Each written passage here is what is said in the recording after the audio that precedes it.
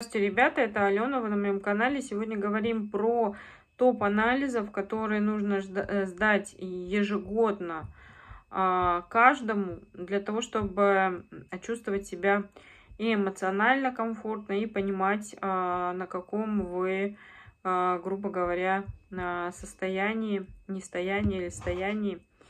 И в этом видео я расскажу, на что обращать внимание, если Э, есть какие-то вопросы. Базовое, что нужно сдать, это, конечно, клинический анализ крови с лейкоцитарной формулой. Там будет очень много всего доступно. Следующее, что важно сдать, это холестерол, а, липопротеины высокой плотности и низкой плотности. Тоже будет понятно, что с сосудами. Триглицериды, холестерол и коэффициент атерогенности. Для чего это все? Увидеть, насколько в порядке все с сосудами. Общий анализ мочи с а, микроскопией и, а, соответственно, это тоже важная история. Если мы говорим про э, диабет и преддиабет, то здесь мы говорим про глюкозу, гликированный гемоглобин и инсулин. Э, еще бы я добавила в этот список моменты с э, щитовидной железой. Т3, Т4, ТТГ и антитела.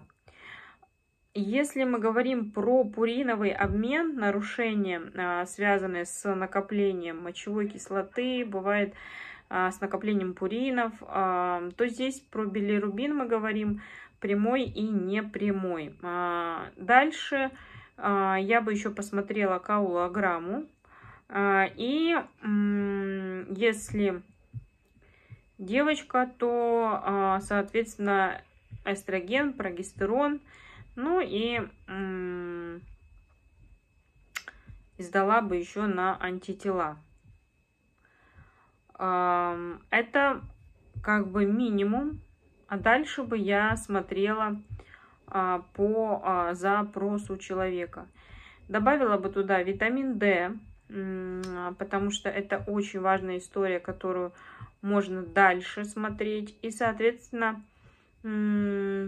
еще бы посмотрела состояние а, по УЗИ органов. Вот если бы меня что-то беспокоило, наверное, я бы сдала эти анализы и, соответственно,